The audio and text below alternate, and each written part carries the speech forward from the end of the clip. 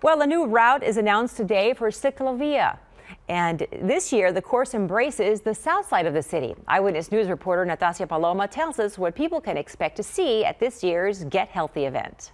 There's a great energy here, and everyone's just playing. City Councilwoman Rebecca Viagran describing past scenes during Siclovia at Mission Concepcion. It is crowded, full of people and bikes and families. Viagran announced the new route Friday. Streets along the World Heritage Trail will be closed on March 26. People can run, walk, and even skateboard without worrying about cars. Physical activity can be fun and engaging. It doesn't have to be hard. YMCA of Greater Greater San Antonio CEO Sandy Morander says it's all about getting out and enjoying the view. Get to know your neighbors in a different way and experience the city in a way that you don't see when you're driving your car. Siclovia starts at HEB on South Flores and ends here at Mission Concepcion for a very distinct reason.